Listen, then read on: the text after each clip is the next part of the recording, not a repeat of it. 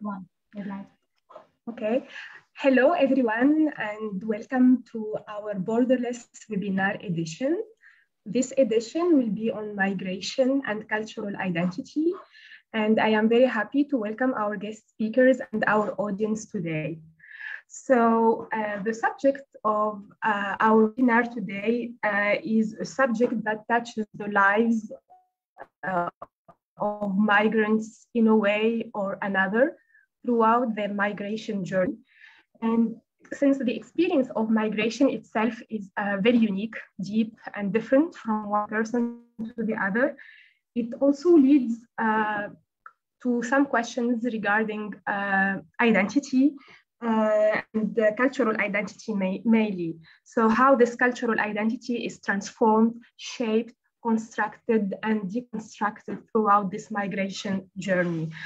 Uh, today, we are having this webinar to discuss uh, this uh, subject and this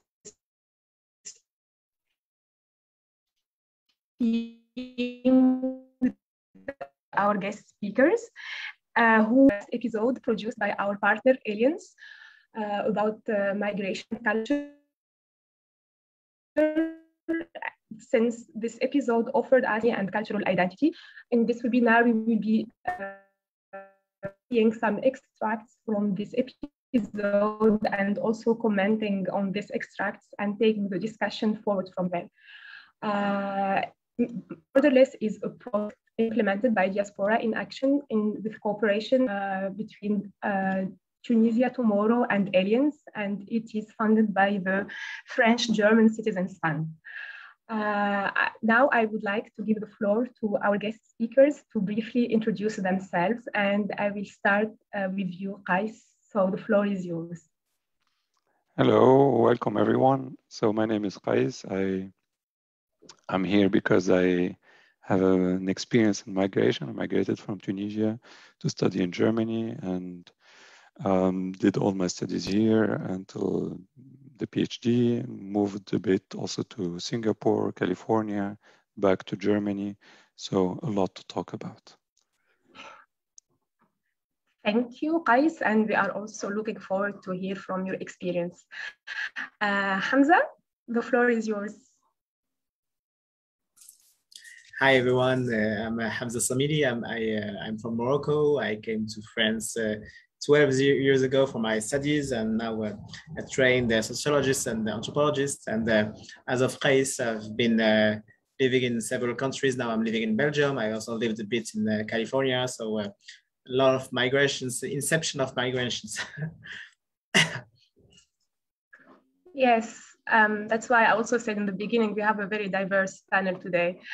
Uh, thank you very much, Hamza. Uh, here you go. Thank you, Nasreen. Uh, hi, everyone. My name is Maha, uh, Mehe, sorry. Uh, and uh, I also have been quite around, let's say. Uh, I'm from, I come from Tunisia and I, I went to, I moved to Lebanon to study there for four years. Uh, and I also, I've been and I lived for, for a while in the US. Um, then Italy, Spain, Belgium, and now back to Italy. So yeah, uh, the, the topic is very close and dear to my heart, and uh, yeah, I'd be very glad to talk about it today with you all. And nice to meet you all. It's really a pleasure to meet you. E meet you. Thank you, Meher. We are also happy to have you on board tonight. Uh, Malek, please, uh, if you can give us a brief introduction about yourself. Yes, thank you, Nasreen. Hi, uh, everyone. So I am Malek. Um, I'm 27. I I experienced, as uh, in the description, immigration at a very young age.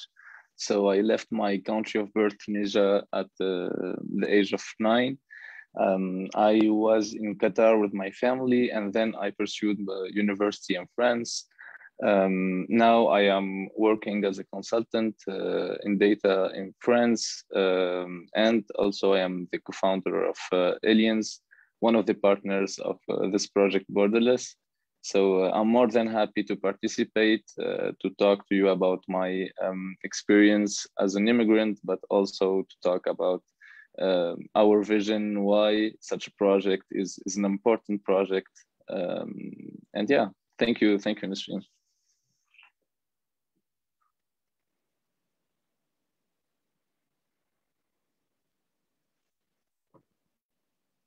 Uh, Malek, I think we have we are having. Uh, do you I don't do you do you hear me now? We we did hear you. I think the connection problems are with Nasreen. I don't know if it's from us or from maybe. Do, do the other participants here hear Malek? Everyone, yes. It's just Uh, you. Thank you. Okay. Thanks, Malek. Uh, and I would like also to uh, encourage the audience uh, to leave their questions in the Q&A session. uh, um, for the Q&A session. So please leave your questions on the Zoom chat and also on the comment section on the Facebook uh, stream. We will then answer, answer questions later. Uh, now, before we proceed, I would like just to ask our guest speakers yes or, or no questions. So it will be the answer either yes or no for these questions. So I will start with Hamza. Uh, do you define yourself primary, primary or mainly as a migrant? I think Um, there's a connection problem. I'm not sure. Yes, uh, I, I didn't hear you quite well, but uh, you asked me if I define myself primarily as a migrant. I think this is actually the only true identity I have. so uh, yes, definitely yes. Thank you, Hamza. What about you, Meher? Um, if I if I am to answer primarily a migrant, I would say no. But if you ask me just a general question, then yeah.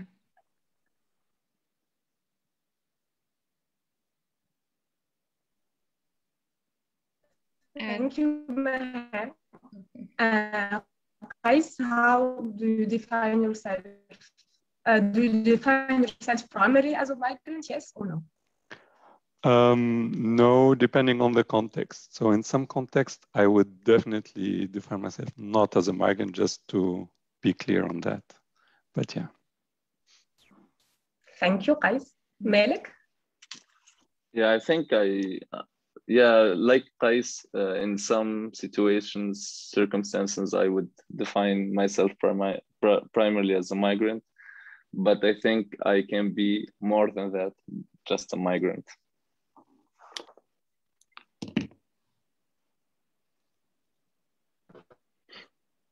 Okay, thank you, everyone. Uh, maybe we are facing some internet issues, but we are working on them. We hope that you all us are hearing us now. Uh, we will proceed to uh, showing an extract from the last episode uh, of uh, migration, and, and then we'll be back to the discussion.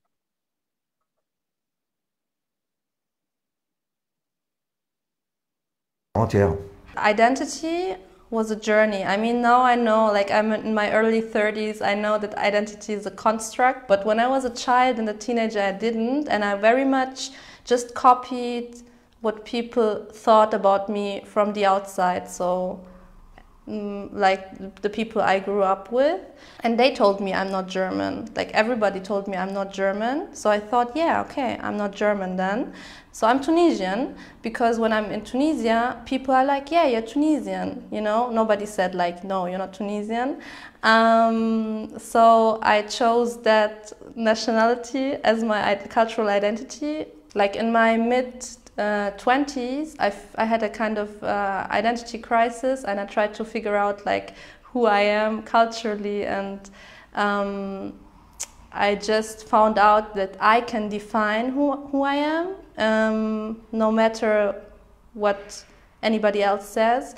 So I just decided I'm 100% German and, I'm- and I'm 100% Tunisian too. I think it's important to stay true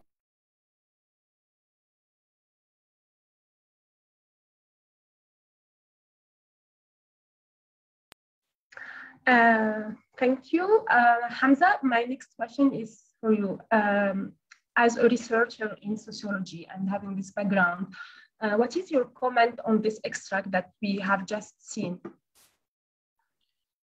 Yes, um, I find it to be extremely interesting. It's uh, it tells us that uh, culture, how one defines oneself, is uh, very um, it moves a lot during one's life, um, and also it, it says this need, this primer need we all um, experience to define oneself to uh, know what we are. She said that uh, she had a yes uh, uh identity crisis when she was in her mid 20s uh, and that prior to that she reacted mm, to um, the common racism in Germany to, by saying that yes indeed she was Tunisian and not not German I think this is also a very true component of how we understand modern identity it's it functions a lot by its negative uh, what we are not, what we are. Uh, and uh, of course, I, am sure that uh, many of us here um, never felt more Tunisian or Moroccan or some um, to the day that they were in France or Germany or Italy or uh, wherever they were. Uh, this is a very common trend. Um, yes, and I think all migrants tend to face it, but it also has its own um, uh, problems. One tends to perform at sometimes to perform its one's own uh, Tunisianity or Moroccanity or or Islamity or I don't know every uh, what's uh, what's uh, your cultural background. Yes. Yeah, so you are like here referring, referring more to the pressure that the migrants feel in their journey to identify themselves. Okay, thank you, uh, Hamza. Uh, so um, my next question for both Kais and Meher, and I will start with Meher and then move to Kais. So um, when you hear the question, the very famous question that we all hear, where are you from? So how do you react to this question, Meher? Thank you, thank you, Nasreen. Um, actually, if I'm being completely honest with you, and I am going to be very honest in this webinar, uh, I usually react with some discomfort in the sense that because I'm always thinking of the prejudice that my, the counterpart the counterpart might have if I say, for instance, my country. So I'm always like, um, I get a little bit uncomfortable when someone asks me the question because this means that they they noticed or like they they saw me as different, and so they asked me where I'm from. You know, so I I don't necessarily take it. Uh, as yeah oh it's nice like you know they're they're curious to get to know me more. I'm, I'm very defensive when it comes to this question. So if I, I meet someone for the first time and this is the first thing they ask me then i'm like oh whoops so i'm the stranger so i'm the foreigner you know? So i'm always having these um, yeah it's I, I, get very very uncomfortable. Uh, i've been working on that in the sense that i always uh, like try to see okay maybe they just want to know me. Um, but most of the cases i'm always also assuming the worst. So um, i would think okay uh, maybe if someone tells me oh i've been to tunisia. It's it's a nice place you know deep down i still feel that maybe they're not telling me telling me the truth you know maybe they they don't like it maybe they think it's it's it's a it's a horrible place but they can't tell it to my face. So i'm having a lot of insecurities about the question itself. Um but yeah this is because i'm also all, try, always thinking of what the other might think or what kind of image is portrayed of my country uh, abroad. So it does create some some sort of discomfort if i'm being completely honest Thank you very much, Meher. And I think we all need this honesty because this um, subject is very personal also. And uh, the more we talk about it in an open and honest way, I think the more the um, we can deconstruct uh, everything about it. Um, so, Kais, uh, how about you? Do you feel the same discomfort that Meher is describing when you are asked this question? Or it's okay, just a very normal question that does not bother? Um, I would differentiate between the context. So if I'm in an event where it's an international conference and everyone is coming from a different place and I get that question, I don't feel that it's an aggressive question. So I just answer probably my institution in Germany, and then I say I'm originally from Tunisia and so on. But there are indeed some contexts where you feel from the question that someone is trying to put you on the side, on the margin, like uh, differentiate you from us, like you are different. And then I mean, after living here for so long and getting also the nationality, I can just play the game and say I'm German and I'm from this city in Germany. And then they would ask again, and then I would say, yeah, I used to live actually in this area. That's why I speak this accent also. And then I would just pretend that I didn't get it. So I would really play the game. I mean, um, yeah, no need to be. Uh, I mean, I, I feel I empathize with Meher, but I just moved beyond that stage, and I'm also quite aggressive in my answer. I am not. I'm not in the defensive here. What I what happened in the past is that I used to say I'm um, Germany, but I was born in Tunisia, or like I, I am um, Tunisian, but I have lived in Germany. I I changed that but. I used to use this uh, differentiation. Now I'm, I'm say and. So I, I say I'm German and I'm also Tunisian, or like I'm Tunisian, I'm also German citizen, something like that. So uh, it's an additive thing, not not a, a, contrast anymore for me. Thank you. It's um, very interesting this complementarity point. And I was just curious, guys, were you did you feel like uh, being able to use this and more like um, after getting the citizenship you are feeling like you can get like this uh, you know uh, aggressive as you mentioned or just be yourself more after getting this paper yeah. it's definitely after getting the citizenship but even after getting it i was still using this but i'm also from there. And then consciously i made the decision that it shouldn't be but but it should be and. And then it's it was a conscious decision. Yeah. Yeah because yeah it's at the end of the day today you are both. So and also as ines said she is 100% german and also 100% tunisian. Uh, thank you very much Kais and Mahe.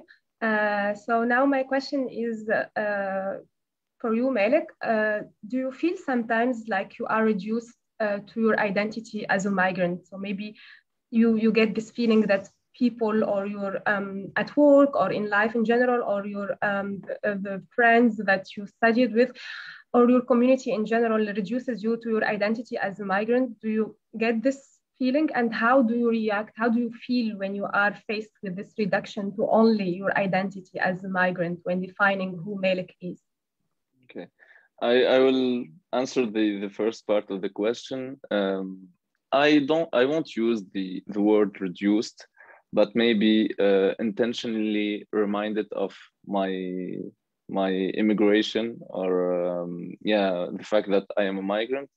Because if you think of it as they are considered like you are reduced then it means you are inferior to other people. And i don't think uh, being a migrant is somehow being inferior to others i think it's a richness to be a migrant um, how do I feel being like um, uh, intentionally reminded of my immigration? I think like if it's in a bad way, it's if it's with a bad attitude, I'm just feeling sorry for the person in front of me because I think like um, having the having uh, like living this experience, going through immigration, discovering other people, other cultures, it's it's it's better than just staying in one place and then never discovering anything.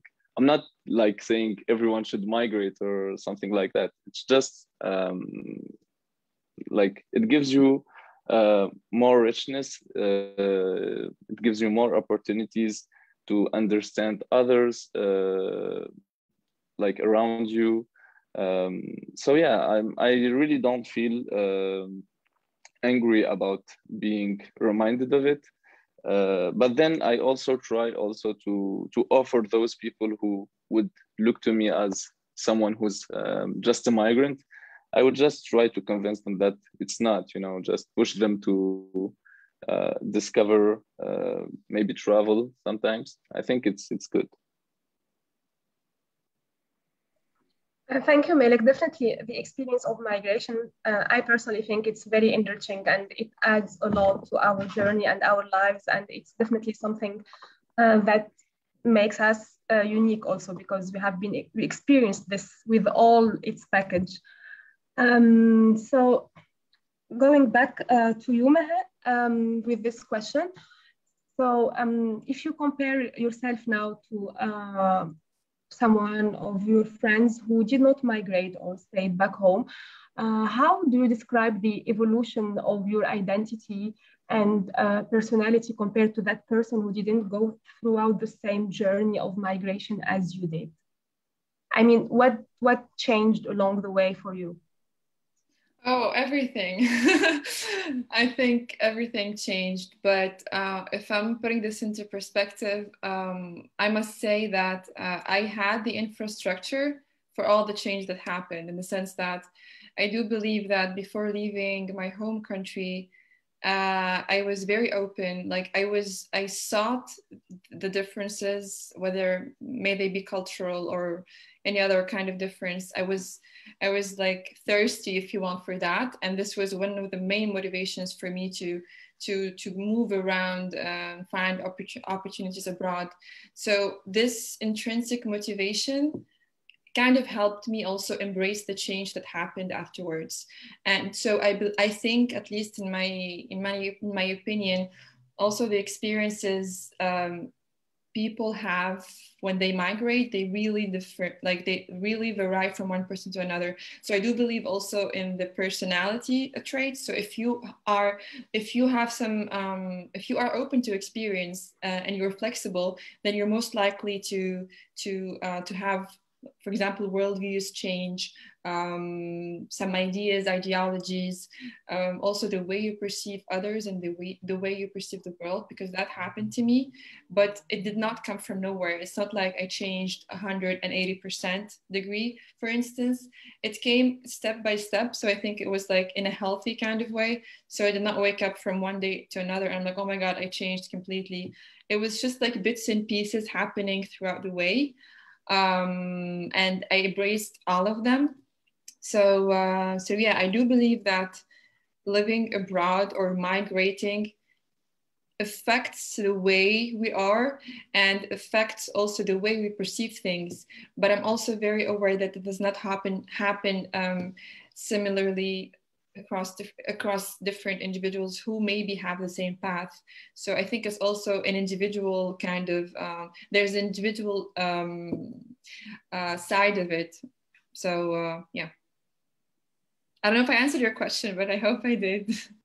You did actually because i also had like a follow-up question to, to, see with you um, the, the things that you acquired or the or change in your personality would you have acquired them if it was not for the migration? Or if when you are back you, you feel really like estranged or uh, completely like different with regard to some of your family members or friends who did not migrate? Do you get to live this feeling or? Yeah. Yeah yeah uh, with my friends luckily i'm surrounded either in my home country or abroad by like-minded friends. So it, which is actually not a very good thing because it kind of creates a bubble so you think everyone is like that when it's not. Uh, but I do feel the friction more with my family members in the sense that I do feel, for instance, that my worldviews could be very different from theirs. And it feels very uncomfortable again because I mean, they are the root, no? So it's uncomfortable both ways, either for them or for me. Uh, and I think it's even more uncomfortable for them because they haven't left the country, so they haven't migrated. So they don't know what it feels like to live abroad. Um, and so I, i'm guessing it's even more difficult from them for them. Um, but yeah the way i deal with it is that i try to understand this this context to understand where i am and understand where they are. Um, and i try also to reflect on all of my experiences abroad and say okay maybe if they had the opportunity to live those experiences they would have seen things differently you know so i always reflect on that when it comes to my family members but i also think it's it's also something very individual in the sense that if one of my family members is not very open to new experiences then i think even if they go abroad their worldviews for instance won't change that much you know? So it, it's both. It's it's the environment the context but also your personality how you are as a person. Yeah this is yeah i think also jump on this uh, because sometimes like this trend when people migrate. Do you hear me now, guys? Okay, so when people migrate, they sometimes um, there are some communities like who try like to preserve this much their identity because they feel like they will lose it. So so they tend to the extreme. But the like the intention, the maybe the primary one is like to preserve this identity from from uh, being lost. So also this I don't know in sociology or um, how how you can uh, reflect on this from your background or your experiences or the research you did. I don't know. I, I think first uh, maybe one should say that there is no universal experience of migration. I, I, I was as, as of you guys, I, I was uh, born and raised in a third world country in Morocco, uh, and uh, I knew a lot of French people who were living in Morocco, and they never experienced their life in Morocco as a migra- migration. They were like living uh, this very nice life in a bit sunnier weather than the than France, and this was very nice. And uh, there was no uh, existential question to them, to their being in Morocco. So uh, I think that uh, uh, we should maybe specify a little bit what what we are. We live together, uh, together, not together, but each one of us, and it's. Um, yes, it's post-colonial immigration first. We, we, we came from countries that were colonized, that we came to our colonizers. So it's a bit different from, uh, you know, just French people coming to Morocco and having a nice time at the beach and uh, and under the, uh, I don't know, the, the nice sunny trees. Uh, so uh, I think uh, one should say that this also this uh, phenomenon identity how you define yourself. It's also always come from a very difficult place very difficult subjective place. Migration uh, at least post-colonial migration is very hard. Uh, we had to fight for our papers. Uh, personally i came to france i was 17 years old. I knew nobody at all. I was in the city. I knew absolutely nobody and they had to have papers and uh, to go to the prefecture where people to talk very down to you and uh, and uh, and uh, yeah it's, it's I, I have friends uh, who this uh, experience drove them crazy I mean literally not not just figuratively, not literally. I have friends who ended up in psychiatric hospitals or had had very bad time. Migration is hard. It's very hard, and I always uh, I don't know, very subjectively, I always tend to uh, ask myself the question uh, if it was all worth it. I mean, uh, of course, I had I did my studies. Now I'm a, um, a researcher at the university here in Belgium. It's very nice, uh, but it has a very huge cost on the, on one's I don't know subjectivity life. And I'm not speaking even of the the bonds that has been severed to uh, to family to to friends to uh, to all of all of this. So i don't know I, I, maybe we can just say this that there is no universal experience of migration and uh, yes and also uh, um, we are all trying to cope with something that is uh, at its heart very dramatic. Yeah uh, it's definitely sometimes it's not easy and do you hear me now Okay, um, we are sorry. I'm sorry if there are some sound problems. Uh, so I was just saying that it's definitely a heavy and not easy experience. Uh, and yeah, we can all, uh, we have all our anecdotes and stories about how difficult it can get. Uh, so uh, now uh, we'll move to the second axis of our um, webinar, which will be uh, focused on culture. The first one that we just dealt with was about identity, and now we are moving to culture. Uh, we will open with this uh, extract uh, from our last um, episode. So let's watch it together, and then we will come back to you, Hamza. Thank you. Stay true to my culture because I don't want to forget it but it's also important to be open to receive fragments of the German culture. But in the end, it's my choice of what I want to accept from the German culture and uh, the parts that I want to keep from my own. It's about catching and releasing, so that's why I said it's individual. Everybody decides for themselves what they want to keep and what not.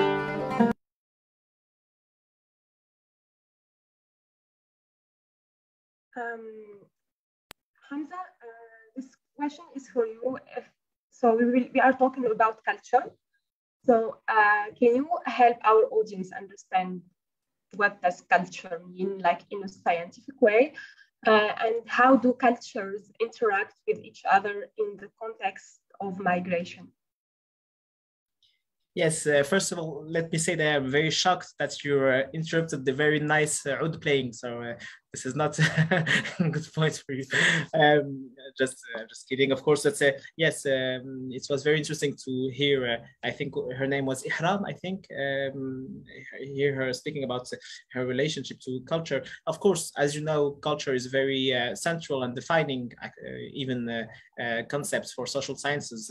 you know, this whole and very old opposition between nature and culture, and culture is what defines human beings and so on. So this is very actually it's very outdated outdated because now we know that uh, um, even animals, even uh, uh, even trees, actually they they communicate to each other, so they have their own form of culture. But it, at least it says to us that culture is not something that it is um, as opposed to how we use it, we tend to use it in the common uh, uh, language, is not something that is opposed to one's way of life. It's embedded in uh, in life, in, in in in language, in uh, in how we interact with each other. It's not um, uh, a separate sphere. You know, you have your culture, which is very far, and uh, and you can access it at some points, and at some other points, you just decide to you know not uh, not interact with it.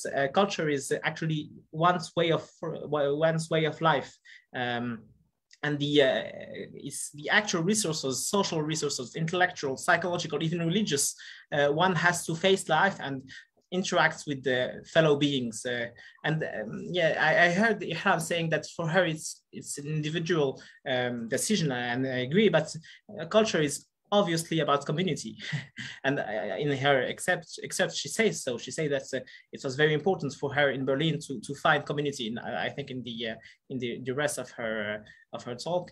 Um, and yes so culture is uh, to me it's very much about establishing complicity and attachment uh, at a, a, very intimate level. And of course, it's not always possible. At some point, it's not possible. It's not possible because you don't you do not have the same language, and have the same view of life, of uh, how to interact with others, how to be part of the world. But if you have to define culture, it's just the way we, as human beings, uh, we find to cope with life you know to how to understand our being here how to understand uh, what we should do with our lives uh, but still there is no culture if there is no uh, community uh, and i think if we think uh, culture as resources as resources we have to face life um, i think it, it may um, makes it may, it may make sorry uh, immigration or migration easier to understand uh, because some resources they they lose all value when once migrates. And this is very shocking when you when you migrate you think that you i don't know it can even be diplomas. You know you have this very good doctors coming from morocco tunisia or i don't know where and they come from to france and their diplomas. They are not recognized. They not uh, they, they have no value all of a sudden because just because they, they went from a country to another. And it's true for all our resources and our cultural resources at uh, uh, at the at, uh, at uh, the heart of uh, the immigration experience. I have a friend a very dear friend to me, which was a, a Syrian evolutionary. So he was, a, he, he actually, uh, I don't know, uh, lived something that could be at the heart of a very good novel or very good film or a very extreme and um, incredible life. And uh, so he had to flee Syria and he came to France. And all of a sudden, nobody was interested in here in his experience, in what he uh, he experienced as a I don't know as a revolutionary, as a, someone who had a history and so on. Uh, so I think yes, uh, uh, if we have to understand the culture, it's I think something that's more closest to closer to resources. To resources, we have to uh, face life, and there are always uh, um, I don't know communal resources. Um, but also, I, I want to insist on this point because we tend to say culture as if it was folklore, and folklore is nothing but dead culture folklore is not you know it's just the uh, the thing you have I, am sure in tunisia you have the same but in morocco we have the national television and they do this very folkloric shows and it's very nice to see people but nobody lives like this anymore you know. It's just a uh, it's a pale representation of something that's maybe had happened to to exist uh, uh i don't know when exactly but uh, uh, it's nothing else than dead culture. Culture is necessarily alive. It's necessarily a way to cope with life um, and it's also necessarily moving. So thank you. Thank you. Thank you very much uh, for this explanation. Thank you for this explanation, Hamza, and thank you guys for the sound remarks. Also for uh, Kais, and Malek and the audience, if you would like to interact um, about uh, what uh, Hamza just said or mentioned, if you have like some remarks or comments or personal stories, please uh, feel free uh, to share them with us. This is um, an yeah. interactive uh, panel. Can I say something about what Hamza just said? I think I, I do agree with everything you mentioned, especially that there's I really liked when you said there's no universal experience of migration. I really think it's it's very um, it's it really depends on where you come from and where you're go going. So obviously, if there's some power, some historic um, historical colonization, uh, like some colonizing history in the past, that's what I wanted to say, then it, it changes everything. So, um, and the way, also the way people perceive you, where you're coming from and where you are at the moment. I'm, I completely agree with that. And uh, regarding your last point about, for, for instance, folklore and how it's like that culture, and how in our home countries they tend to perpetuate these images these scenes uh, of, of folklore as if like it's our as if it's like our current culture when it's not. So the idea here is that culture is not static it's very dynamic and it's changing. Um, so uh, i just want to comment on that this is actually very true. And uh, i think also with globalization today especially young people uh, millennials if you want i mean they have I, I tend to say they have like zero connection with with all of the folkloric scenes that they are that we are seeing on TV, for instance. Maybe our generation we have like we've seen or or we've witnessed something, but the newer generations they don't they can't relate. They simply can't relate uh, because it feels like it was very very very old. And so yeah, it's also about how in our home societies how we are perceiving culture because that's also it really affects our personal culture. So if, if i'm a, if i'm a 17 year old girl for instance in tunisia or morocco or algeria and i'm watching the american series and, and movies all the time for instance maybe i like my culture like my current culture is affected by what i'm consuming. So here we also talk about media consumption how and how it affects our own culture. I remember when i went to the us for the first time it was i only went there once and i had this very strange feeling of familiarity as if i knew as if i've grown up there and i've only just got there you know? And then i was like oh my god this is it must be all of the movies and and series that gave me this sense of familiarity with the american culture or although we're talking about tunisia north africa and the us you know? I'm not even talking about france for instance. So i think another very interested, uh, interesting um, axis or dimension we could also um, investigate or, or discuss later on or in general is also media and culture, the effect of how media today is um, uh, shaping the way we perceive culture as individuals.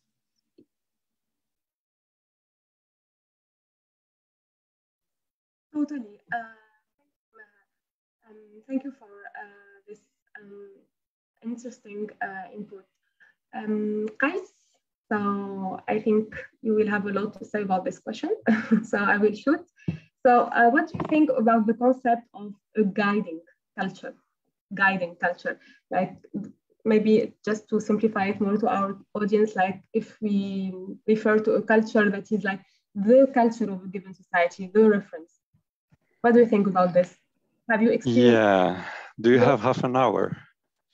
No. Um, okay, short answer, I hate the concept. Uh, long answer, I mean, uh, there is a discussion, there is this term in, in German, they call it Leitkultur.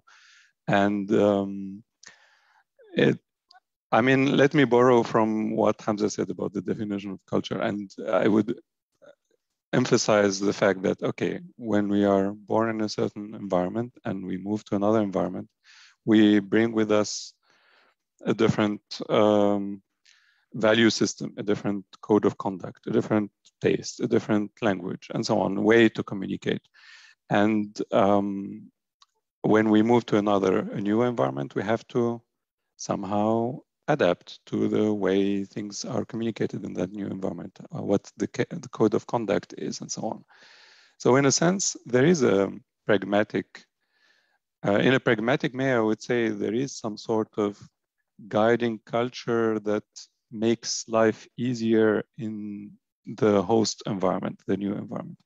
But what I hate about the concept is that it, under all this shiny layers of pragmatism, there is a core that is a bit racist and um, has layer, some sense of superiority because it kind of involves this uh, idea that there is a true culture or a code of conduct that is good and everything else is inferior to it, maybe bad, not, not as evolved as this code of conduct.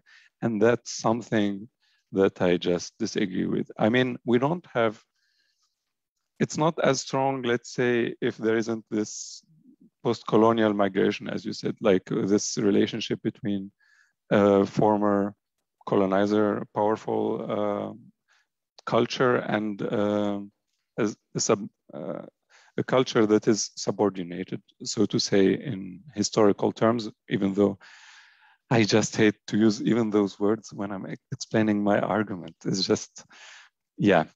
So I, I'm totally against uh, this concept. I think um, cultures are of equivalent values, but indeed there is some need to, to be pragmatic to adapt to the host culture in order to just be able to communicate and live and, and perform and so on. Yeah.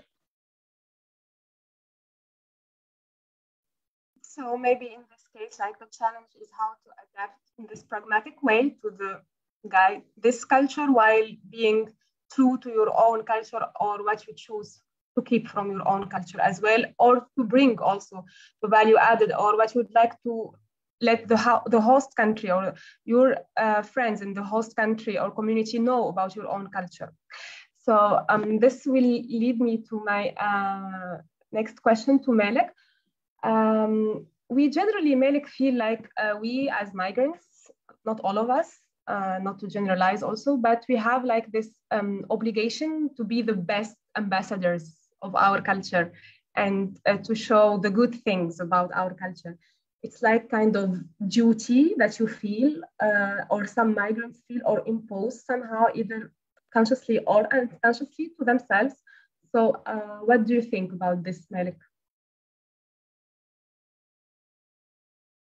do you, what do you think about this idea? Do you think that uh, it's our duty uh, to be ambassadors of our cultures as migrants? Yeah, I, I, I, think it's it's true actually, but I think of it like more of uh, a natural process. As you know, we are too much connected to our past. Uh, our past is a part of us, so then we are actually ambassadors of our past and uh, thus to our culture but then like something funny happened this year i traveled to to kenya and then i met people that like like uh, people from africa uh, from namibia from uh, kenya from you know uh, and then what what was funny is that i was more enthusiastic uh, about telling them about tunisia than uh, i was in france i don't know why but i think that French would perceive you in a way, and then all Europeans would perceive you in a way that you won't feel really enthusiastic about talking about your country. But then Africans, like from our from my continent, they were too much happy to know that I came to visit Kenya and that I was from Tunisia.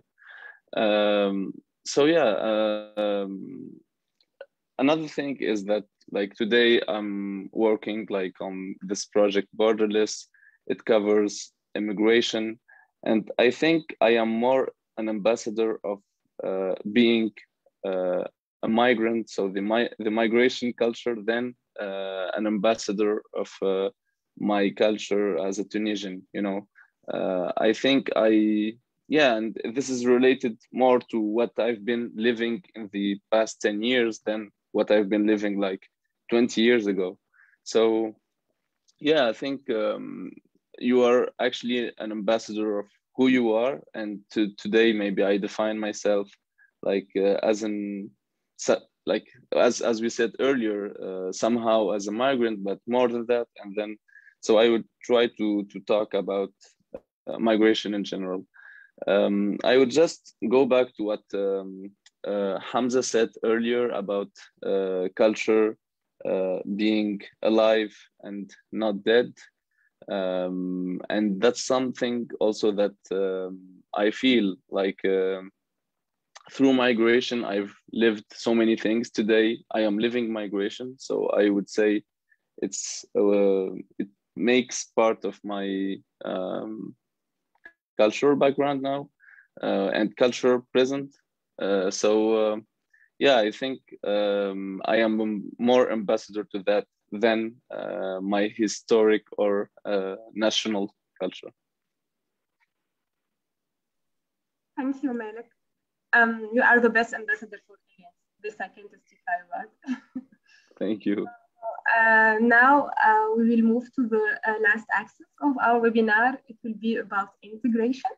And we will start with the video that we will uh, show now. And then uh, I will uh, ask Hamza a question regarding this extract. Thank you.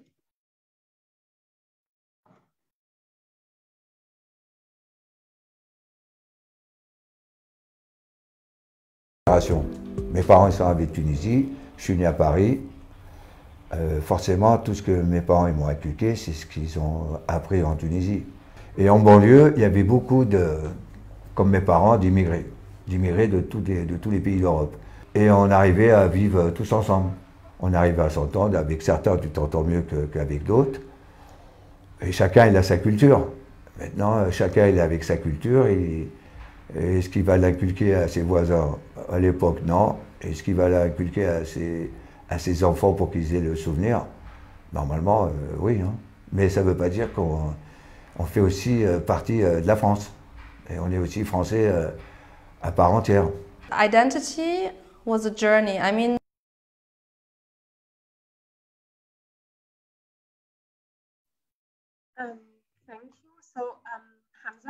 We have seen in this uh, extract um, René's uh, perception of integration. Uh, how would you define it, this concept, word, buzzword of integration? Um, yeah, I think I was very interested in what René said. Uh, I think there's really two parts in uh, what he said. His, uh, he used a, a word that I, do like very much, which is souvenir. Uh, he said that uh, his parents uh, transmitted to him the souvenir, the souvenir of um, obviously Tunisia, obviously also I think Jewish life in, in Tunisia, uh, heritage, inheritance, uh, not to forget uh, one's, not culture. I, I, again, I do not like much much this term of uh, culture used like this in the common tongue, but uh, uh, not to forget one's own people and own community and own history and so on. Um, so I think the souvenir is very important. I think that's uh, yeah. There is this uh, very famous uh, German philosopher Walter Benjamin who said that we owe something to the dead, and I think I, I agree with that. that we should keep the souvenir of the the, the dead um, with us. Um, I was also really interested, if I may, with the uh, what Ihram said. Uh, I think uh, she was saying that she was from Kenya. Obviously, I think she was from a, um, a very old immigration to Kenya, which is uh, the Indian immigration to Kenya, which is uh, which has more than a century. And uh, so when she says that she is faithful or truthful to her culture. It's um, it's a culture that it is at the same time a, a, migrating culture, which has more than a century of migration, and in the same time, she's uh, uh, she's saying that it is her own culture. So I think here again, it's more the role of souvenir, which is important. I think it's absolutely necessary. I think we cannot live without this uh, role of souvenir. As of uh, the second part of what he's saying, uh, which is the uh, um, yes, the idea of being French.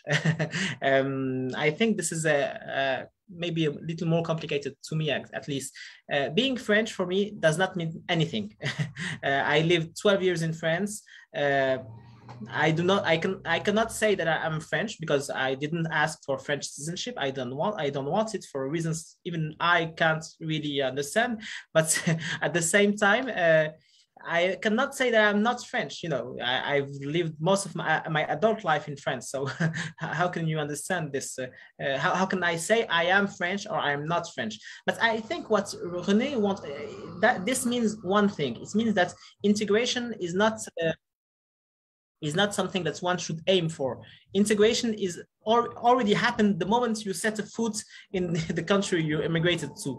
Uh, integration is not, it's just participating to the society you immigrated to. It's not a, like a political goal, you know, we should all be integrated, but you are all integrated. You all go to the bakery, you all go to, I don't know, uh, you work, you study, you, you, you, you, you meet people, I don't know, you become involved with them and so on. So this is, this is integration, this is sociological integration.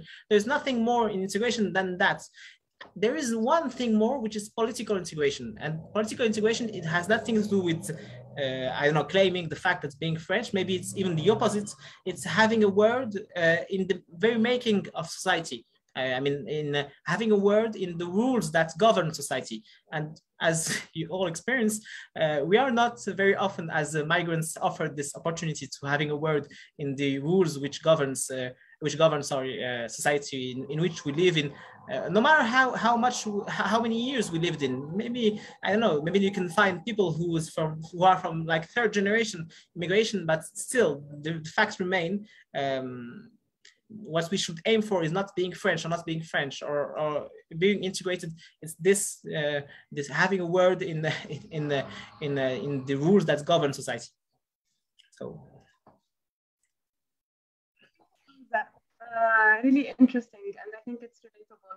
Uh, I'm just curious to know. Uh, you said you don't you you have this dilemma of not feeling you are French, but you can relate to being French. Um, what about your um, being as Moroccan, your Mor- the Moroccan side? I think I would give you exactly the same answer. I, I, I am Moroccan. I, I mean, it means that the people I'm I feel faithful to are all in Morocco. Not all, maybe there is maybe one or two people in France, but most of them are in Morocco. very clearly. Um, and these are the people I, I, love. These are people which live with me in my head.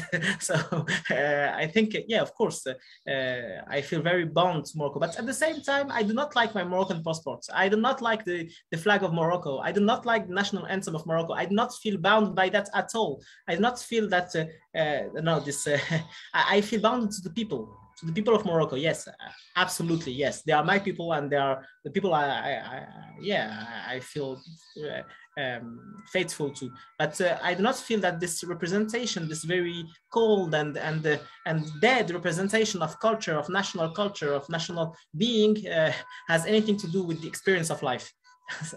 so uh, I think it's exactly the same thing in, in France than in Morocco. And also in Morocco, I do not have a say in what's uh, what are the rules governing society. yeah, thank you. Uh, so my question now is that there is no questions or just for all of you, and I also invite the audience to leave either yes or no about this question. Um, can, can you repeat, please? We, we can't hear you. Okay, thank you. So the next question, it's also a yes no question.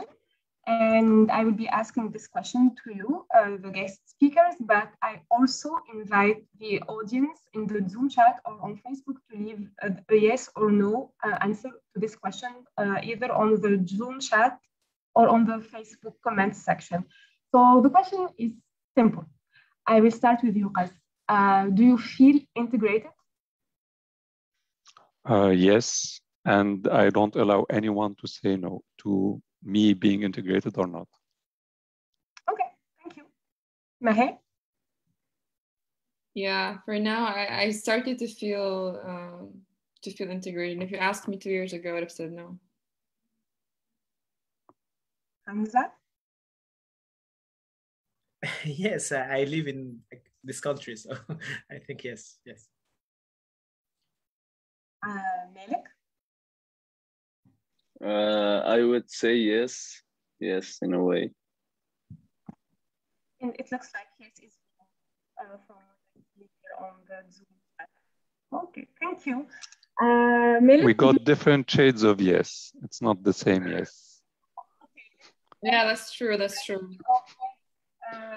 So, all right, let's discuss before moving to the next question. Your shade of yes, because you have shade of yes. Where is we didn't hear you, Nasreen, sorry. Okay, so no, sorry. I am sorry for the quality of the sound. So I uh, I was uh, asking Kais about his shade of the yes. uh, because he said yes, but I don't allow anyone to question my integration. So if you can tell us more about this, were you put in a situation personally where you were questioned about this integration or you yourself witnessed or heard about such situations? No, no, not really like that, but I also wouldn't even allow that situation to arise. so I, um, I don't think anyone is, anyone else is qualified to judge whether I am uh, integrated or not. Uh, I am a functioning citizen of the society. As uh, Hamza said, that's like my own criteria. I can function in the society. And thus, for me, I'm totally integrated. I don't have the same taste, the same humor, maybe, than people around me because of our different backgrounds, but that doesn't mean that I'm not integrated. Okay. Thank you, uh, guys. Uh, if uh, you have, um, yes, we have a question for you, guys, but you can choose to answer now or later about the meaning of integration. What does it mean uh, to you? Uh, but we can I'll go back to this uh. It's really like this concept. Uh, like for me, integration is being able to to function within the society. None and um, when yeah, then yeah, there are other words like inclusion, for example. Uh, what's the difference between integration and inclusion? Yeah, there are different shades uh, in the discussion. I think it's something to discuss together. So I would allow, or I would like to hear what the others think about that. We'll go to this question also. We'll raise it later. So, um, Malek, uh, from uh, your personal um, experience uh, so far, so what are the institutions uh, that you think should do something uh, to facilitate integration based on your own experience or on your own expectations? Yeah, I, I would I would first give my my own definition of integration. Um, I don't think integration is um, making conformity or forcing conformity in a society. Uh, I think it's more of accepting diversity, and uh, the two like uh, like if you reject diversity, then uh, then the people who wouldn't like uh, uh, like do it or wouldn't accept it, then you would say they are not integrated. I think that's the wrong thing. But if you accept them as they are, and then you try to uh, make them functional, as uh, as Kai said, I, I think then it's a good definition for for integration for me. About the institutions that have something like have to do something to, to facilitate integration. I can think of too many. Um, I'll and uh, but then it's I think a complex question because the links between the different institutions are too many as well. I would first think of the public institutions, the government. Um, the government should should be the one who's making law projects, who was who is facilitating integration. Uh, but then governments, especially in Europe, uh, which is like um, a democratic uh, continent, are uh, elected by people. So I think it's also uh, the the duty of the people to be like um, helpful to to those who are migrating and be understanding and try also to make integration easy for them. Uh, then I will think also of the media, and Maha mentioned media before. Uh, I think media plays uh, a very big role in integration. What what it diffuses uh, in like um, in the news or in like as information is very important to how locals and how people perceive immigration and migrants. Um, and then the media the like the people behind are not um, necessarily public. They might be private which means that the agenda of the media can be changed which means that integration might be different uh, like the perception of an, of integration uh, and how it's uh, promoted uh, and how migration is promoted might be in in a way or another. So primarily I'm, I'm thinking of public institutions, the government, then behind the people, and then the media as they might be uh, responsible uh, and they have to play also a role in, in making integration facilitated and, and better for, for migrants. Thank you. Thank you, Malek. Uh, if thanks, Hamza or Maha have any follow-up about uh, this question, uh, please uh, feel free to jump otherwise, I will move to the uh, next question to Maha. Uh, so according to you, Maha, um, how do you see the concept of um, diversity and inclusion uh, as opposed to integration? So are these two contradicting concepts according to you? Uh, okay, I would probably separate diversity and inclusion. So I would, but I would put diversity on the side and then put inclusion and integration on the other and see if there are any contrasts. Because um, because integration like inclusion um, has a bit of integration but diversity is like just the fact of being different from each other you know? So being having a diverse society that does not necessarily mean having integrated individuals within society. It does not necessarily mean that this society is inclusive. So you know like nowadays, uh, fortunately or unfortunately, there are a lot of organizations that are um, using the diversity token in their personnel to like to do some sort of employer branding. So, oh, uh, it, it, it became some sort of competition. So, for instance, during the LGBT month, all the the big corps, for instance, they would have a logo like uh, the rainbow flag. They would preach about gender equality and all of that only because they think they play the diversity token so they're not necessarily acting on on on these values. They're just using them to attract people and say oh look at us we're, really cool. Uh, when in reality these are two different things. So because society and if we're talking about nature like if we're looking in nature there's diversity everywhere in all the species, all the creatures, including also human beings and their diversities. So in fact, no one can debunk or can be against diversity because it exists on its own. It's a fact. What should be done though is working on inclusion, belonging, and integration. And here I'm quoting, I'm qu quoting um, two authors, Liz Fosslien and Molly West Duffy, that they say something, a statement that I really like. So they say, diversity is having a seat at the table, inclusion is having a voice, and belonging is having that voice be heard. And I really believe that we're just doing the, the first part, which is having a seat at the table, but no one cares about you. Okay, you're there. Okay, so check. We have the diversity token there, but no one cares about you. No one listens to you, and your voice is not being heard. So if I am to reflect, to go back now to migration and having diverse society where people come from different cultures and live together, um, um, here I tend to disagree with the sociological approach or lens through which um, Hamza uh, was explaining earlier. I don't think integration happens automatically. I think there's a lot of work, a lot of work that comes from both sides, from the individual and the host society. Because integration and here i'm also i'm also thinking about the relational aspect of integration. So me vis-a-vis other people with me in society. So if, if i don't do not speak the common language with other people how the hell am i integrated? For instance i'm going to talk about my personal experience. When i first got to italy three years ago i felt very isolated à la limite alienated and that's because i did not speak the language. So if i'm i don't know i'm i'm just gonna um, tell you a small anecdote like the the daily um like insignificant uh, activities for instance going to the supermarket uh, having chit chats with the, the cashier i could not do that because i did not speak the language.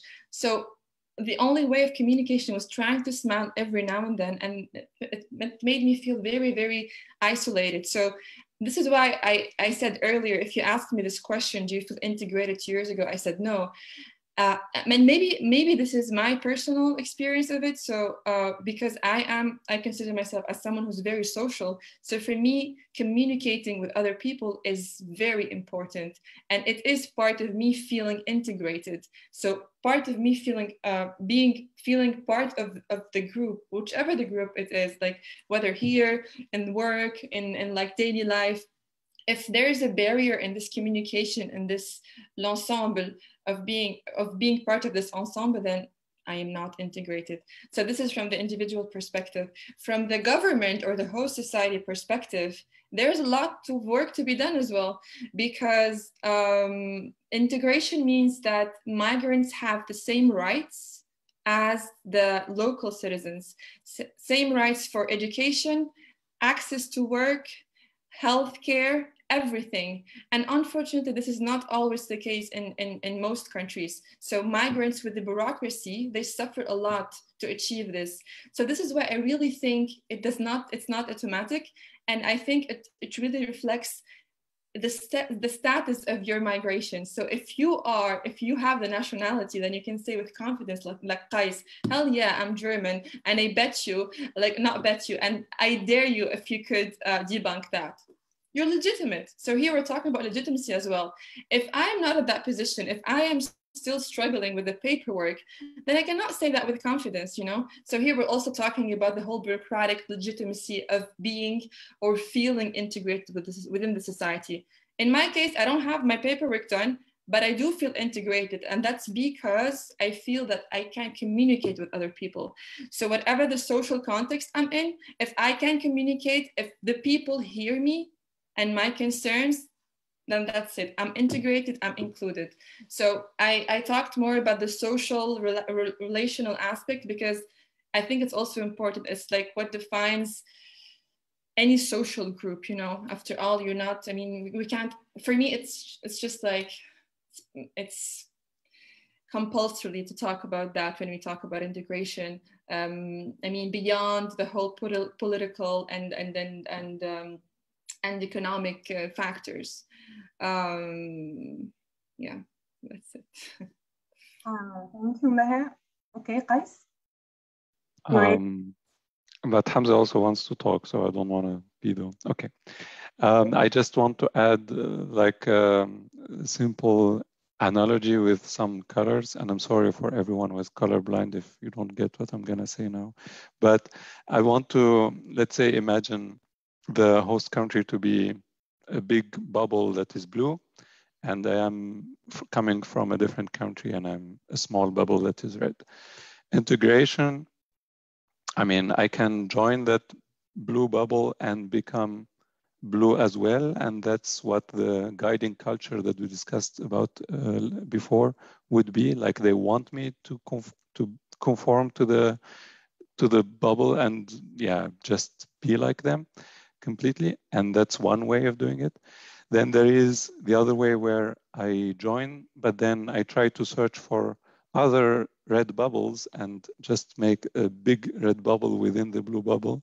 And that would be also one way to create like some clusters, some ghettos within the society.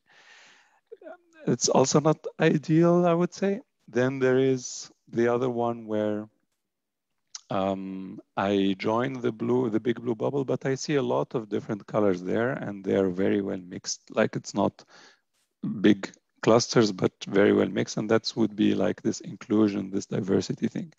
And I think what's, what, uh, go, go ahead, Khaid, sorry. I, will just finish with the last one. What yeah. has said the other level, like the belonging would be that I bring my red color and I give a red taint to this blue. So the blue would, after some time, also shift a bit and become, for example, purple or any mix of colors that have been there for a long time. So that's how the, I imagine all those concepts that we have talked about, how they would fit in this color system. But um, yeah, Malek, you wanted to say something? Yeah, I think what's funny with immigration that um, you want you you would never make a perfect blue bubble you would always be red inside, maybe have some of the blue, but then you would realize that all the red, yellow, green that came have that similarity with you. So then you can make your own like like a good bubble altogether you know but which is which has so many colors. So i think that's one of the best things in immigration. And i talked earlier about immigration being a, a richness that you would meet like so many colors it'd be so much fun so someone who would like reduce you for being a migrant is like he's just blue you know Thank you for the very colorful, uh, yeah, analogy. I really love that. Mm. Yeah, looks like. I, Uh, Hamza?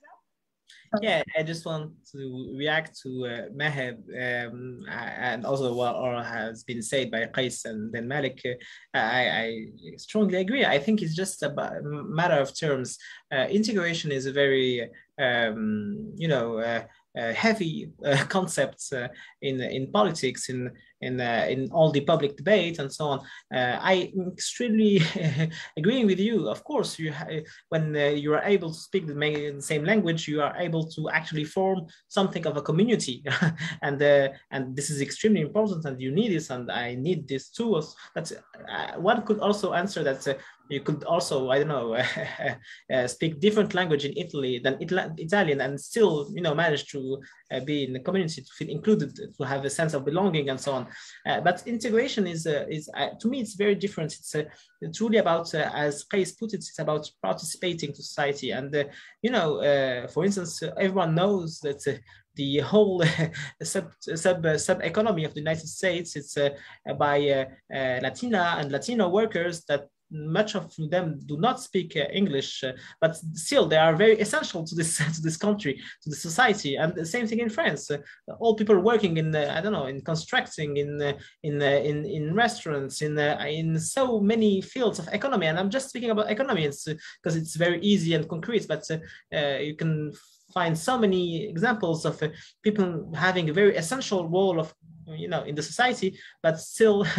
um, they are not viewed as this they are said to be not integrated. So i was actually reacting to this to this uh, to this uh, uh, very uh, narrowed uh, definition of integration which is i think the uh, the most common one in the public debate and the public and the pol public policies and so on yes but I, I strongly agree with you, with you. Of course, uh, one should have a community. One should have people to speak to. But uh, you know, it's uh, often as migrants from post-colonial countries, it's not really what's uh, uh, wanted from us. Uh, it's not really what's wanted from us to, you know, just being included and uh, being a part of community and so on. It's uh, in many cases just being able to uh, give something, you know. Um, and in this, in that regard, what you say about the welcoming part is, of course, extremely important. I agree. I strongly agree.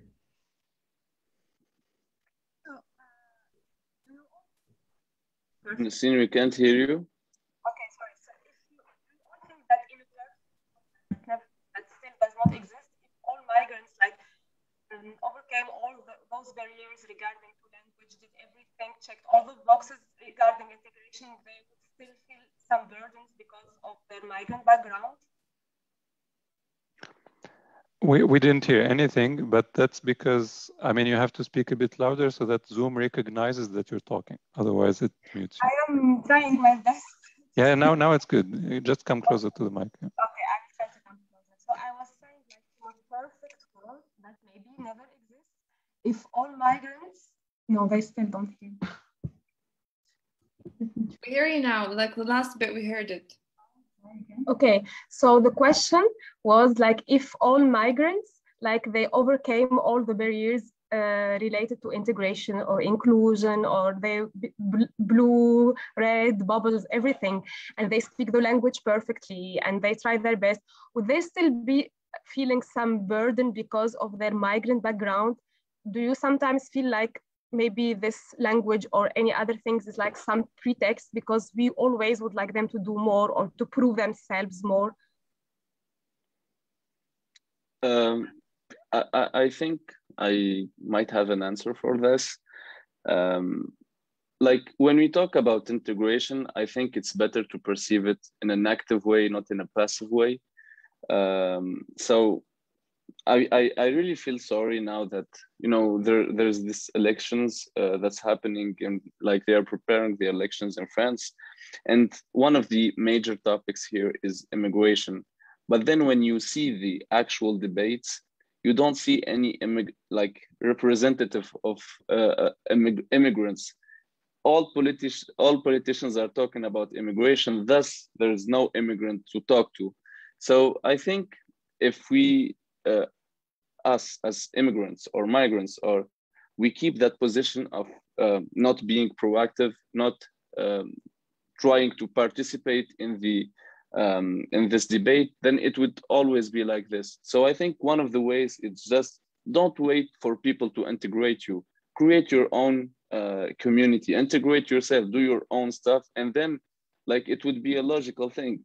If you are doing stuff then people would see you doing stuff you know? So i, I think one way of like uh, answering to this um, problem is uh, just don't like um, croiser les bras. Um, I, I, don't have the word in English, but just try to be active, do stuff, uh, and then things would change. And I really want to to talk about like this initiative, Borderless. Uh, actually, it started just with three organisms organisms working together trying to do something uh, i mean and the results were incredible you know uh, we could uh, make our voices heard um, we were financed by public funds. So if you don't do anything then people won't come to you. If you start doing stuff then they would come to you and you would feel more integrated.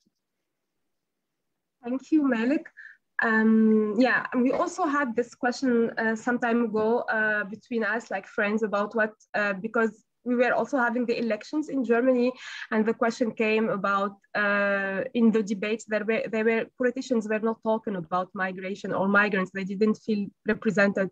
So we were discussing what is our role in this, what we can do now as functioning citizens, as Kais said, to make our voices more heard. And um, this leads me to uh, my next question to both of you, Hamza and Kais. So uh, what are, according to you, like the best uh, practices in terms of integration policies in Europe. And we know now that there is this whole debate about integration. And now this is like elections in France, and we had these elections in Germany. So every time we have elections, it's like the this word of integration comes and this wave of immigration, politicians surf on it again. So, but when it comes to policies, concretely, what should be like the best uh, practices in terms of uh, integration policies? Kais? I, I can start, yeah. Um, so for me, since I defined a good integrator as someone who is able to function, for me it's very crucial to to have uh, early on uh, language courses. So depending on when the, the this uh, immigrant joined, but usually I'm talking, let's say, about second generation immigrants who, who have children that grew up in households that don't speak the the native the, the, the, home country language at home. I think it's the policies that are very crucial and important are to offer um, uh, extra tuition courses or something that would enable them to, to catch up with uh, their peers. And uh, that's for me the, the key uh, to everything else. So that's the policy that I would definitely encourage.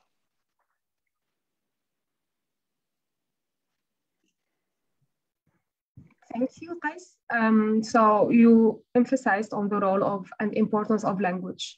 Um, thanks. Uh, what about you, Hamza? What do you think the best practices uh, should be? Yeah, uh, I'm not a specialist on um, on policies at all, but um, I, what I would like to say is uh, I'm very close to what Maha said earlier. It's that uh, the problem is of immigration is not the migrants one it's the one who receives welcomes would not welcome the the migrants. Um, you know there's this very famous uh, uh, quote of uh, jean-paul sartre. He said that there is no jewish problem there is an anti-semite problem. And it's very true. Of course i'm not drawing comparisons about the actual phenomenon but about the who, who who's got a problem with what uh, you know it was it's funny to uh, because uh, earlier you were saying I don't know it was maybe you Malek uh, said that uh, there is there is no immigrant uh, representative in the uh, in the uh, French elections going on. Um, I, I, can understand what you're saying, but it's not entirely true. I think because there is Eric Zemmour who was, you know, born in uh, his parents born in Algeria and uh, his from an Algerian uh, um, perspective. Uh, but uh, the the good immigrants, uh, you know, the only one who's accepted in the public debate is actually the one who says that all immigration except him is bad. you know, it's uh, it's it's very funny because he's actually the uh, by himself by being what he is, he's proving a point, saying that you know uh, there should be no no immigration except the one who accepts to uh, attack all other immigration. So I think again the very problem of immigration is not immigration; it's the uh, it's the ones uh, who are welcoming or not welcoming. Uh, on the more concrete side, uh, I think that's a, again with this idea that the problem is not social integration; it's really about political integration. I think that's maybe one thing that is very important to me, at least for um, yes, for better, better I don't know, uh, more inclusive society, if I may. Uh, it's uh, just to teach everyone, not only immigrants, every people in this society, how society works and how one should uh, uh, uh, you know how, how could be changed how how what are the rules what's what what can be changed where where is the the, the sphere the sphere of debates i think this in sociology we call this reflexivity. And i think the only thing maybe should be done is this is you know uh, to um, to create space for individual for uh, communities reflexivity. This is uh, maybe my point yeah, and Celine, if I may, I, I want to say something. I want to comment actually on something. I'm not very fan of the whole um, of the discourse that was being said here, which is uh, like an integrated migrant or something like that is someone who is functioning in society. I really don't like that at all and maybe because it's coming from an idealistic perspective I, I, admit. But for me society, if we leave migration alone in society and if we take society we don't just have functioning people. And what do we mean by functioning? Like working you know we're not all success stories. So this kind i'm afraid that this kind of discourse is saying that it's actually what the colonizer want or what the host society want is that okay we only accept people who are qualified. Otherwise we don't want you. I don't believe in that. I believe that people like have the right to go where there are better opportunities whether it's for dignity like for dignities like as basic as that. And again i i am very aware that this is very idealistic and it might not uh, be liked but, but by many people but the whole functioning I don't like it because for me it's just that I mean for me it means that I don't know, like if, if, it means that the migration has to, or people who migrate have to be very uh, highly skilled or highly qualified people. And this is exactly what they want. Otherwise, we don't want you, you know? So uh, I had some, some discomfort also digesting that, that, uh, that idea. And I wanted to, um, to voice it out because really, I mean, again, whenever I'm like, I feel a little bit uh, blocked or stuck, I always look at nature and look at nature I mean, birds, they migrate. I don't know. Like, I, I know I'm saying just like very stupid stuff, but my point is just the way diversity exists in nature, migration is also very natural, you know? But with us human beings, we tend to add, of course, complex layer and profit and benefit and intellect and whatnot. And we try to restrict what is very not natural and normal, you know, the, the flow of people, of these species around the world again, sorry if my discourse sounds very idealistic, but I just really don't. Uh, for me, if the motivation to migrate is very valid, if you would like a better future or a better life, that's it. It's not idealistic. It's okay. Yeah. It's perfect.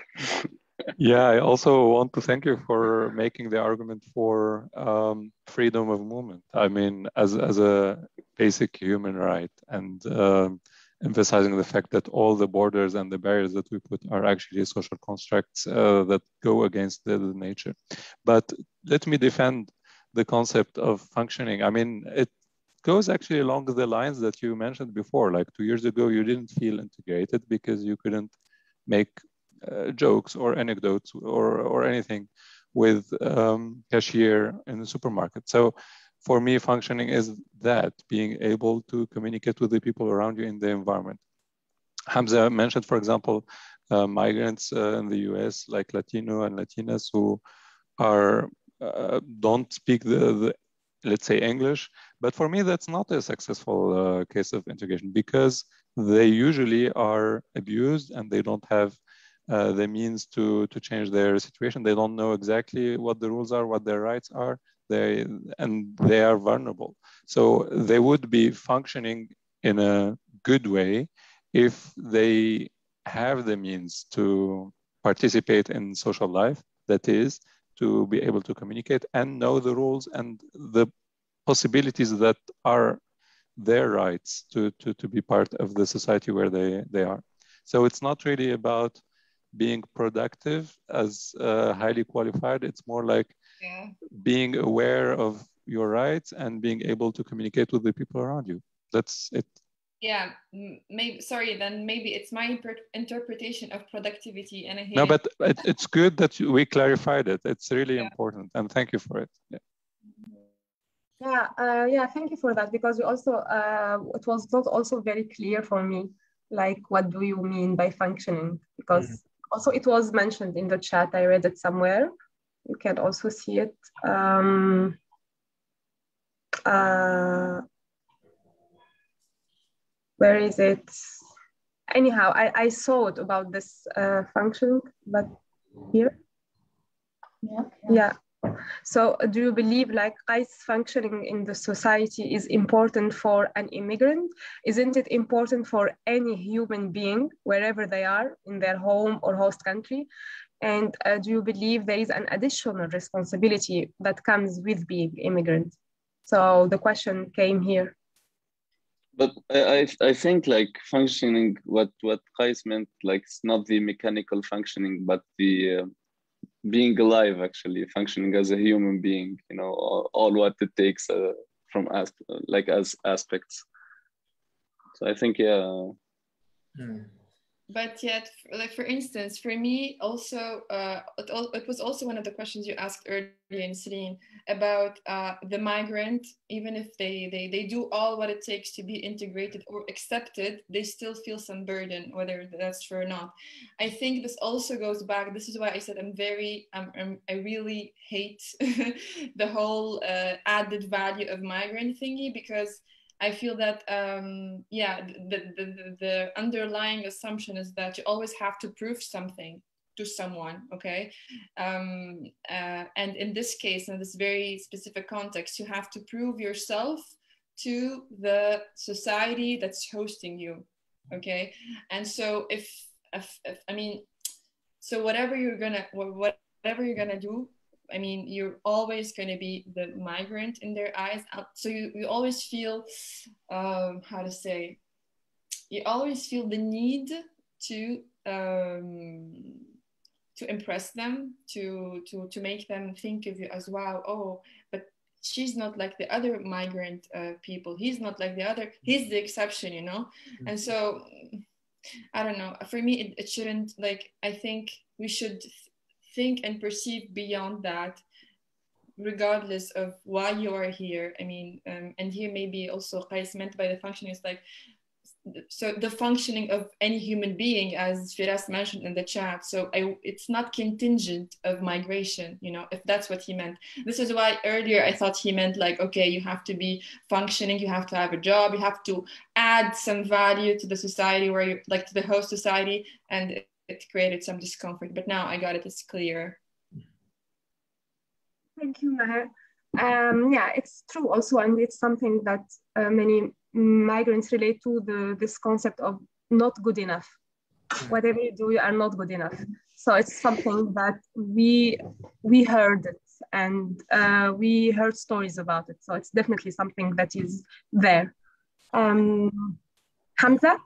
Yeah, I, I, just want to second what uh, you've been saying, Nisreen, and also Maha, and uh, all of you really uh, about this idea of not being enough. I think it's it's true. It's absolutely true, and it's not just floating somewhere. And you know, there are just some bad people saying it at some crucial moments. It's actually the very structure of immigration. When you ask for papers, you know, you are you are uh, classified. You know, whether you are you know having good studies, maybe you change over the course of your studies. I have many friends, for instance, who uh, yeah they got OQTF, uh, which means that you the order to quit the French territory uh, because they changed the course of their studies. You know, they were studying like economics and they started studying Spanish, and uh, this was already too much. Uh, and uh, also myself, I, I, think my record, my my best performance for immigration papers was like three years. Three years, I'm not having to care about immigration papers, and it was actually featured. My papers was was was called Passeport Talent, which means you know I was something exceptional, and this is why they gave me three years and not just you know six months or one year. And, and so, so no, this is at the very core of uh, uh, the, the state's view of immigration. This is why I was earlier saying in maybe a bit too theoretical, but it's very practical that there is no problem of immigration. There's a problem of welcoming of uh, the people who are welcoming immigration. Not not there's no problem of immigration by itself. There's a state problem. yeah, I think the same way with diversity. There's no problem with diversity, but whether you like, what do you do with that diversity? You know, do you accept it? Do you judge it? Do you do you uh, reject it? So I mean, and also migrant migrants can also fall under that umbrella of diversity. Um, thank you, everyone. Um, so I don't know if you have our um, maybe comments or remarks or things that would like to share or add? Any one of you? Um, the end of our webinar and uh, chat, and you also uh, answered. I think you said thank you, yeah, the stream because it just uh, we didn't hear you very well. Yeah, you froze. again. she, she's not lucky actually. Yeah, yeah, we hear you. I'm sorry. Yeah. Today, like the the sound, the internet, they were not integrated. we tried our best. Um, so yes, what I was saying that if you have any other uh, additional comments or uh, things that you would like to share, because I think uh, we reached the end of this uh, webinar. Uh, I saw that in the Zoom chat you interacted, every one of you, um, with the uh, questions and comments of the audience. So it was uh, questions. And um, I really would like to give you the floor if you have anything uh, to add or something maybe that we did not cover or that you wish to, uh, to share or to add? I will just add that um, being a migrant is a positive thing, that we shouldn't need to feel reduced to, to being a migrant. Um, and then um, if like being a migrant, you like you don't feel integrated and like I'm talking about some people who might find themselves not integrated then maybe try to uh, be more active about it. Um, and I think that there's so much work to do.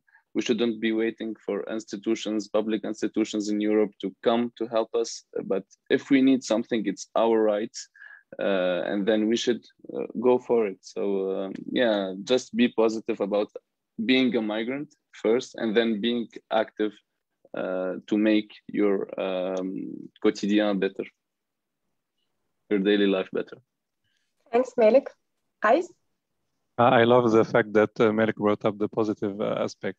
Uh, I just want to uh, enlarge a bit the discussion because we are all a bit privileged as migrants, but there are other part, other types of migrants uh, that are, for example, brought to work as domestic um, helpers and then their passports are confiscated and things like that. And for me, I mean, even though they are wanted, like the, it's organized by states, but for me, they are not functioning citizens or participants in society because their rights are limited and their, their freedom of movement is limited and so on. So there are other parts, other types of migrants that I think from our privileged perspective, we need to not forget and um, try in a certain way to, to, to, defend them. Yeah. I think you will like the next episode uh, of uh, the web series and also the uh, the next episode of the webinars. It will treat some of. I liked all the episodes, so yeah. Thank you. Hamza.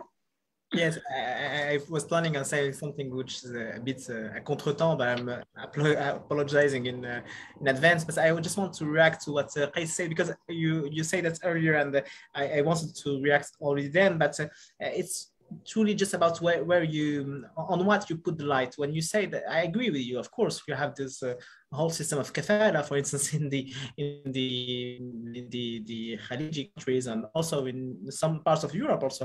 Um, and uh, uh, but uh, you know when you're saying that people these people are not functioning uh, it's I, I completely understand your point and i agree with you but it's like you're saying that the problem is with them.